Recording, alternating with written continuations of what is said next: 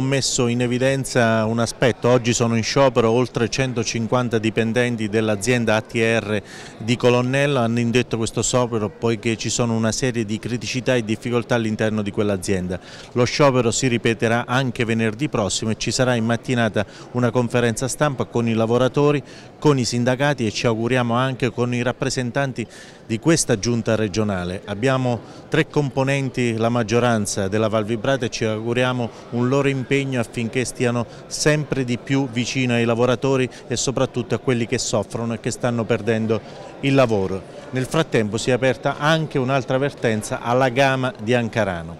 E poi abbiamo avuto la risposta assolutamente inaccettabile da parte dell'assessore Foretti circa il futuro della casa di riposo di Santomero. Da mesi stiamo chiedendo le possibili soluzioni per la casa di riposo, oggi purtroppo non abbiamo avuto alcuna risposta, alcun impegno da parte del governatore Marsilio che ha tenuto